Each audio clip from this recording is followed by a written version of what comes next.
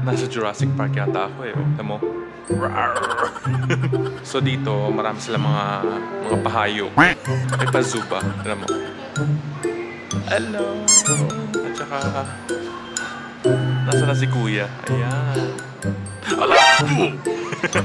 yung unang punta ko dito, akala ko totoo yan. So, nagulat ako. Hala, bakit may paganyan?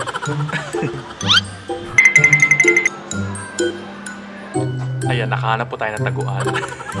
Ang dami kasing tao po dito. Nagwalis para makakuha ng discount, ganun.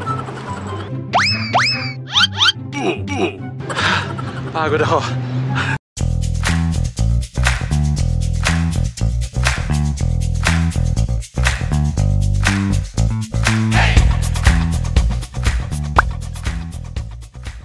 Hi everyone, my name is John Ramos, creative director and photographer of Ramos Studio and welcome back to my channel. Ayan oh, may bagong hair color and hairstyle. May pagka bluish po siya oh. Ayan. Di ba? K-pop ka. How you like that? Nasa suburbs po tayo today kasi dito po tayo nakatira. Hindi po sa city kasi hindi po yayamanin. um, punta mo tayo sa kotse kasi may lakad po tayo today. Um, join kayo. Um, so cut ko muna kasi ano, um, busy tong road na to. Baka masagasaan tayo. Okay, see ya. Ayan, welcome back. Nasa kotse na po tayo.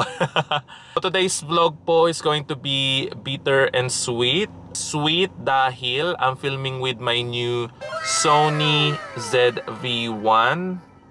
Ayan. So, I just got this camera a few days ago. And first time ko po siyang gagamitin today. Ayan. Peter po dahil ang aking Canon G7X Mark II ay nalaglag ko po siya. They ask you how you are, you just have to say that you're fine when you're not really fine, but you just can't get into it because they would never understand. So yung recent shoot ko po with Nathan, yung fitness shoot po, ayun, doon ko po nalaglag. Yung tripod po, hindi po na-open yung legs properly. So yun, boom. So nag-dive po siya, diver. Diver ang aking Canon. Nag-dive, pinagpaalam. So yun, pakita natin kung ano nangyari. And you can see from the flip out screen, you try to turn on the camera. You can hear some shattered glass from the lens and the screen won't turn on. And when you try turn off the camera, it won't retract back the lens. So you have to force just to go in. And sometimes you won't go in at all.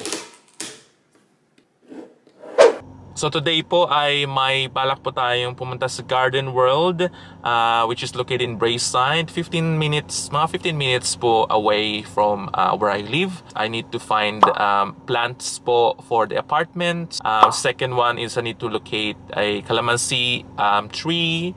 And the third one is to vlog using the new Sony ZV-1 uh, para ma-test out po natin siya, okay? So yeah, alika, samahan niyo po ako.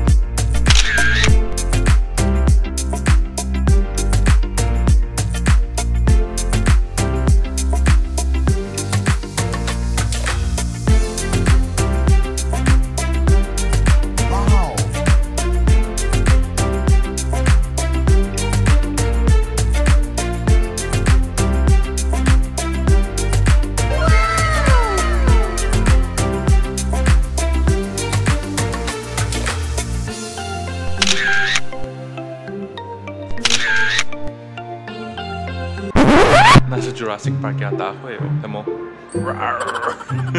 So dito, marami sila mga mga pahayo. May pa-zoo pa. Alam mo? Hello! At saka, nasa na si Kuya? Ayan. Ala! yung unang punta ko dito, akala ko totoo yan. Nagulat ako. Hala, bakit may paganyan?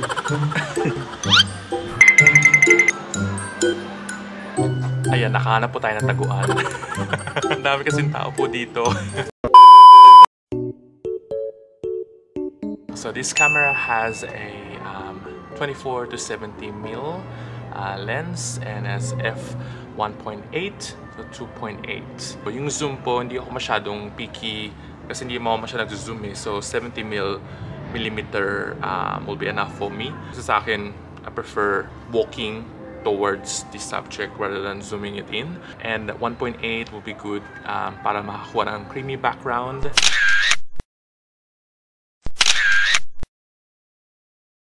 So this camera has a 20.1 megapixel and also today I'll be using a Ulanzi wide angle lens.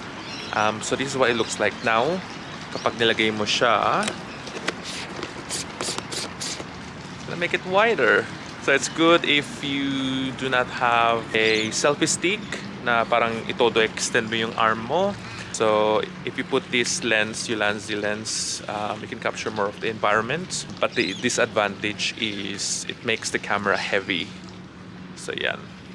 May product showcase din ang camera ito. So try natin ha. Parsley ba kunyari? Oh, ang bilis ng focus niya. oh. Oregano. Rosemary. Diba? Ang bilis ng focus niya. Sa mga beauty blogger dyan, hindi na kailangan ganyanin. Focus na kagad siya bigla. Welcome nga pala sa hacienda ko. pili lang kayo, pili lang kayo. diba? Oh. Ayan, nakahanap po tayo ng taguan. Kasi kanina po ang daming tao eh. So, dito po masyadong quiet ng kaunti. So, meron siyang defocusing. So, try natin. And, put back. Ayan. Kita niyo ba? Subtle lang naman eh. Oo.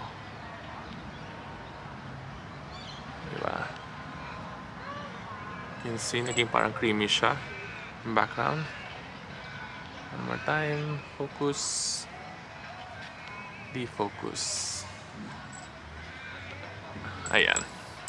Ay, sana oh. Matingay, tutulog si ate. Ay, kuya, bakit galit? Kuya. Kuya, bakit galit? So this camera actually can film 4K, pero um, for vlogging for myself, um, I only use HD. And it can also take super high frame slow-mo. So try natin yun next time. Ah, pero not today kasi parang typical day lang siya. So yun, naghahanap po tayo ng calamansi or also known as calamondi. Calamondi. Kasi si calamansi naglandi kaya calamondi. so we got mandarin, lemon, mm, oh, I think other name niya is kumquats. Ay, ito po yata. Oh.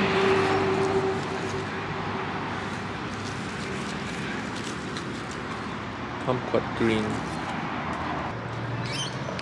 Wala pong makita. Wala yata sila. Kasi um, last time na nagpunta po ako dito is um, meron pong talagang calamansi or calamandi ang pangalan. Um, kaso today po, sold out siguro sila. Kasi pag pupunta ka sa mga ano, sa mga shopping um, supermarkets, um, you can't get them. So you have to go to like an Asian grocery, yung mga fruits na calamansi. And instead of, you know, keep buying them, why not have your own plants, di ba? 12 seconds later. Nagwalis para makakuha ng discount, ganun.